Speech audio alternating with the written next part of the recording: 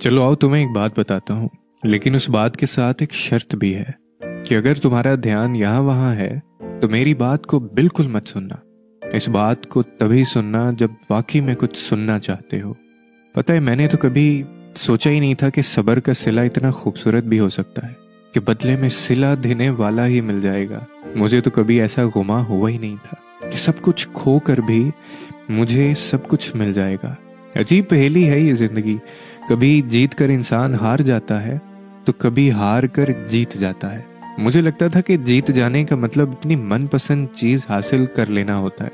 मगर अब मुझे समझ आई है कि अपनी मनपसंद चीज़ हार कर अल्लाह को पा लेना ही असल जीत है। तभी तो हर जीत पुरसकून नहीं होती और हर हार बेसकून नहीं होती। ये बात समझने में बहुत देर लगी मुझे कि अल्लाह की मोहब्बत के सिवा हर मोहब्बत आजमाइश है।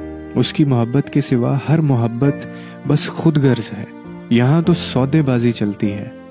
यहाँ तो जज्बात मुँह मांगी कीमत पर बिकते हैं। जिसने ज़्यादा बोली लगाई, मोहब्बत उसी की हो गई। और मुझ जैसे कुछ जिन्हें दुनिया के रंग में ढलना नहीं आता, उनका कासा खाली ही रहता है। और पता है अल्लाह कासा कब खाली कर देता है?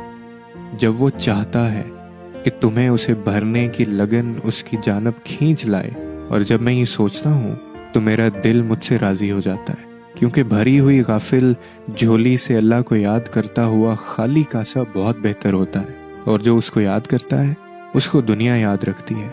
सो आज जिस मुकाम पर हूँ, वहाँ बस मुझे मेरा अल्लाह लेकर आया है, और इससे बड़ी फतह और क्या होगी कि सबको हार कर मैंने अल्लाह को जीत लिया। अब हार मेरे मुकद्दर का हिस्सा नहीं रही। देने वाले से मोहब्बत कर लो तो फिर सब मिल जाता है। तहजद की एक बेसकून रात बाकी सारी उम्र की रातों को बासकून बना देती है।